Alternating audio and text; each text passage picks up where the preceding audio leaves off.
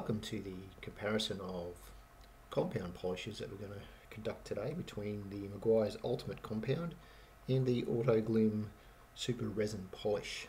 Well, not technically a compound, it does have compounding attributes. Uh, so first of all, the, the boring stuff out of the way, just been issued a new work ute. Well, new for me, it's quite an old car, but and uh, just by the looks of things it hasn't been uh, kept well. So we'll give it a quick wash.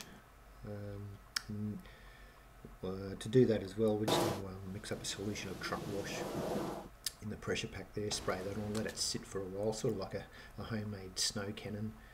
Um, give it a quick tub wash it off and then commence the comparison of the compounds. So I've just um, put a stripe down the front of the bonnet. The bonnet's the only part that will actually do this on. Uh, left hand side is the Autoglym and the right hand side the ultimate compound. And we'll see how we go for the comparison.